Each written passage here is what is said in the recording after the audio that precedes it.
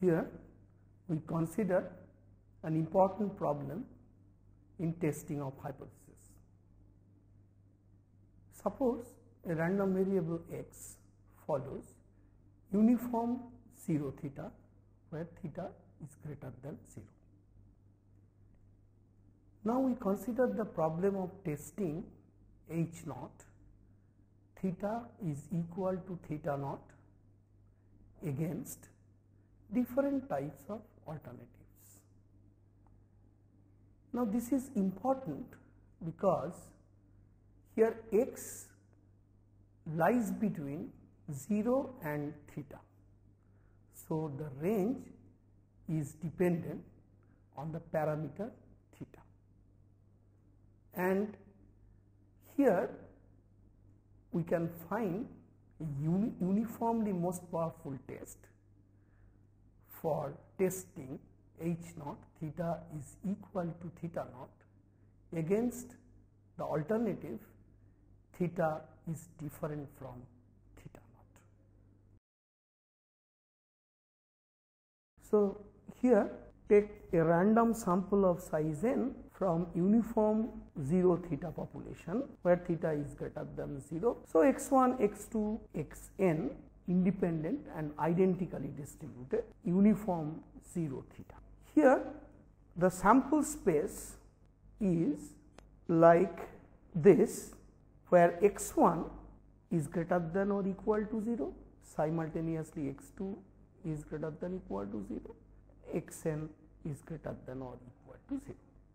Theta is obviously the unknown parameter and our inferential procedures will focus on testing different hypotheses on theta. For uniform distribution, the PDF of x 1 or x 2 or x n is f theta x.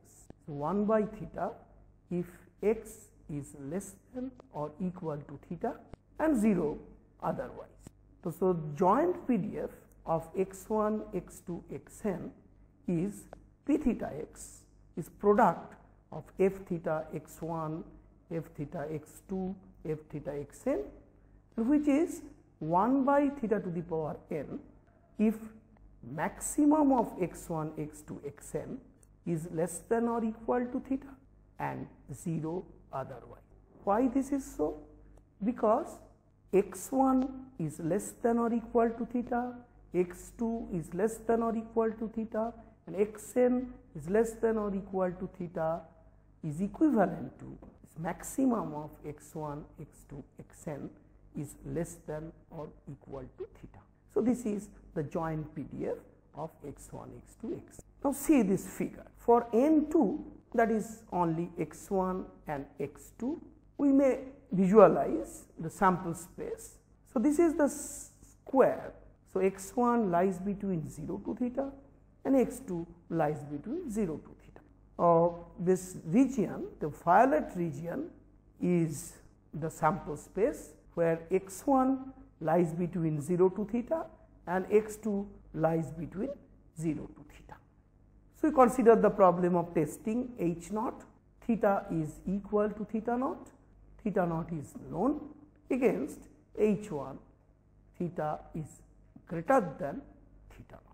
So, first start with h naught theta is equal to theta naught versus h 1 prime theta is equal to theta 1 which is greater than theta naught. So, here the null hypothesis is simple and alternative hypothesis is also simple and we aim to find a most powerful test for the problem of testing H naught against this H 1 prime. The following figure explains the hypothesis H naught and H 1 prime. So, n is 2 here. So, x 1 and x 2. So, you see the region in pink is the sample space under H naught.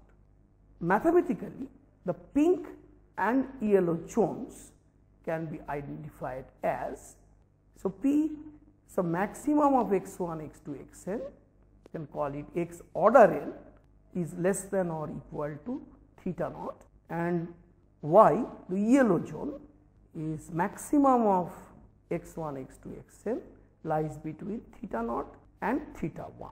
So, the big square that is P union y is the sample space under theta is theta 1. Now, we want to use Neyman Pearson lemma and derive most powerful test for testing theta theta naught versus theta theta 1. So, p theta 1 x is 1 by theta 1 to the power n if x order n is less than or equal to theta 1 and 0 if x order n is greater than theta 1. Write k p theta naught x, k is a constant, k by theta naught to the power n if x order n is less than or equal to theta naught and 0 if x order n is greater than theta naught.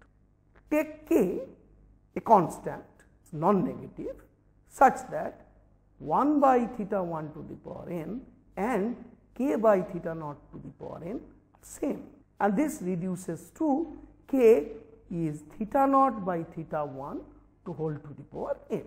And this is because we have flexibility in selecting the value of phi the test function in this region where p theta 1 and k p theta naught are same.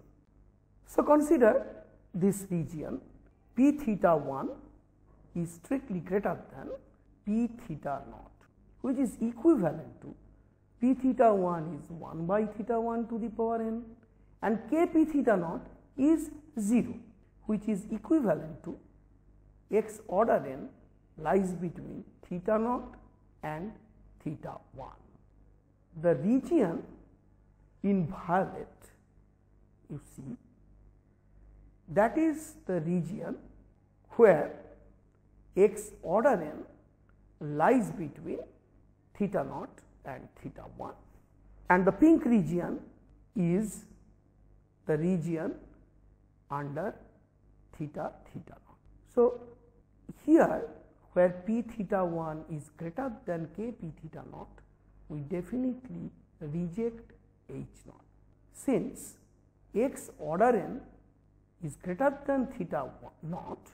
So, under null hypothesis where theta is theta naught, it is not possible that any of x 1, x 2, x n is greater than theta naught. Now, we consider this p theta 1 is less than k p theta naught, which is equivalent to p theta 1 is 0 and k p theta naught is k by theta naught to the power n. And this is equivalent to x order n is greater than theta 1 and x order n is less than equal to theta naught. Because you see that p theta 1 x 0 if x order n greater than theta 1 and k p theta naught is k by theta naught to the power n when x order n is less than or equal to theta naught. So, these two should hold simultaneous. So, both inequalities cannot simultaneously greater than theta 1 and simultaneously less than theta naught where theta 1 is greater than theta naught this is not possible. So, p theta 1 less than k p theta naught this set is a null set. Now, by the Neyman Pearson lemma a most powerful level alpha test for testing H naught against H 1 prime theta theta 1 is of the form phi naught x that is probability of rejection of H naught when x is observed, x means x 1, x 2, x n and this is 1 if x order n lies between theta naught to theta 1 because we have already seen that here p theta 1 greater than k p theta naught and this region is equivalent to x order n lies between theta naught and theta 1. Therefore, here we must reject h. So, phi naught x the probability of rejection is 1 here and if x order n is greater than theta 1 or x order n is less than or equal to theta naught, p theta 1 and k p theta naught are same. So, we can take any value between 0 and 1 such that expected value of phi naught under theta naught is alpha that is size of the test is alpha. So, we can find most powerful test at level alpha for testing h naught theta theta naught against h 1 prime theta theta 1 and we will look at some special tests. Uh, the test phi naught is free to take any value when x order n is greater than theta 1 or x order n is less than equal to theta naught because here p theta 1 and k p theta naught are same. So, make the test free of theta 1. We can assume phi naught as 1 where x order n is greater than theta 1 and any value where x order n is less than or equal to theta naught. So, so phi naught reduces to phi naught is 1 if x order n greater than theta naught. So, this union of these two theta naught to theta 1 and theta 1 and above this is same as x order n is greater than theta naught then phi naught is 1 and any value in between 0 and 1 if x order n is less than or equal to theta naught. Obviously, expected value of phi naught under theta naught that is size of the test is alpha. Now, we consider this randomized test which is also most powerful. Take any value where x order n is less than or equal to theta naught, you take alpha. Then what is expected value of phi naught 1 under theta naught?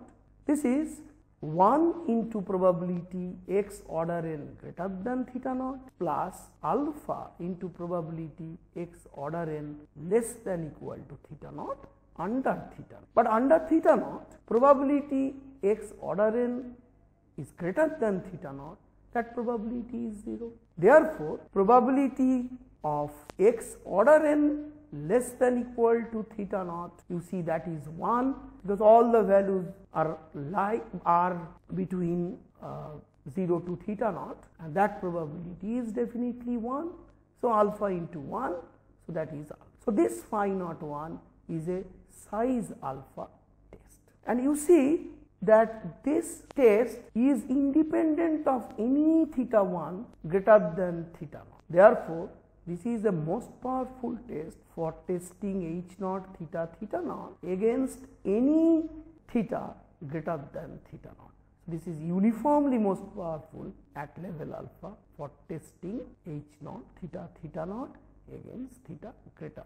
Now, we consider non-randomized. So, this is an alternative to randomized test and here we can take any value in this region script x theta naught that is x order n is less than or equal to theta naught. So, take a part of this say a theta naught depending only on theta naught such that the height restriction that is expected value of phi naught under theta naught is alpha.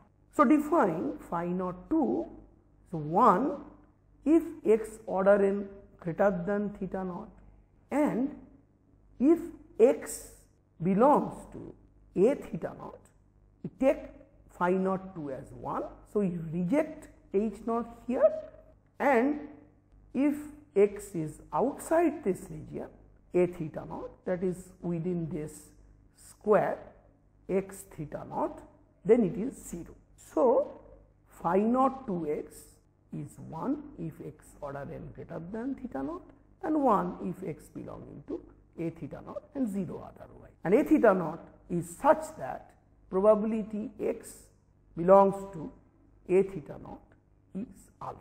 In this module, we have discussed the problem of testing H naught, theta is equal to theta naught against alternative H1 theta is greater than theta naught for uniform 0 theta population. And we have found uniformly most powerful randomized test and several uniformly most powerful non-randomized tests for H naught versus H1. And we see that uniformly most powerful test is not unique.